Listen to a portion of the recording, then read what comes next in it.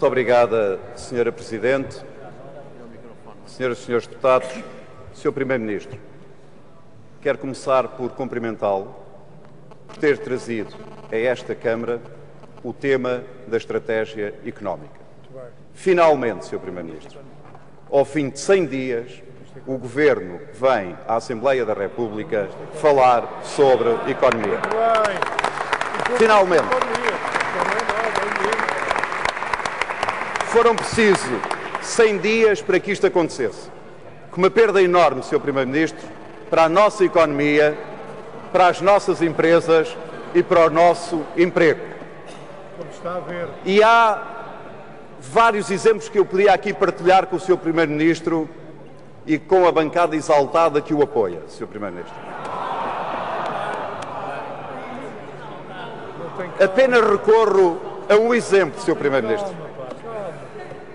Foram precisos 100 dias, Sr. Primeiro-Ministro, para que o Governo decidisse quem tutelava o AICEP. O AICEP não é uma agência qualquer.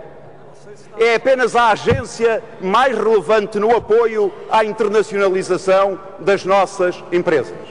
E é inaceitável, num estado em que o país está, que o Governo tenha demorado 100 dias para tomar essa decisão. E não é só um problema de tutela, Sr. Primeiro-Ministro.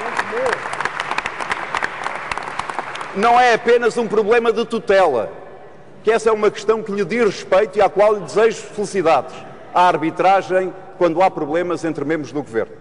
É um problema de ausência de estratégia económica, é um problema de ausência de visão, é um problema de convicção e é um problema de prioridade, de perceber que é necessária uma aposta decisiva e fundamental nas empresas portuguesas que exportam, que podem preservar emprego, gerar riqueza e criar emprego em Portugal. Foram precisos, Sr. Primeiro-Ministro, 100 dias. Mas não decidir ainda. O Sr. Primeiro-Ministro apresenta algumas medidas. O tempo não permite que me possa referir a todas elas. Falou novamente da moratória dos 12 meses de amortização. Quero dizer que é uma boa medida, embora os empresários, como já disseram publicamente, consideram-na insuficiente. Mas quero, quero saudar o Governo no que diz respeito, embora não conheça os pormenores, Sr. Primeiro-Ministro, no que diz respeito à medida 3, referente ao capital de risco e ao IVA, e também quero saudar o Governo por ter aceito a proposta que eu lhe fiz, tenho vindo a fazer em termos públicos, no sentido da reorientação do CREN para apoiar os setores mais dinâmicos da economia portuguesa, não só na área exportadora, mas também a das pequenas e médias empresas que em Portugal têm áreas de negócio de bens transacionáveis ou que podem vir diversificar a sua área de negócio desse ponto de vista. Mas o Sr. Primeiro-Ministro referiu, e bem, que um dos problemas da nossa economia tem a ver com a ausência de liquidez. E eu quero deixar-lhe aqui duas propostas e fazer-lhe uma pergunta. A proposta é no sentido de que o Sr. Primeiro-Ministro possa, na negociação da atualização do memorando da Troika, de poder antecipadamente negociar uma linha de crédito com o Banco Europeu de Investimentos no valor de 5 mil milhões de euros e que isso possa ser integrado na atualização do memorando para poder ajudar a financiar as, as empresas portuguesas e, em particular, as pequenas e médias empresas.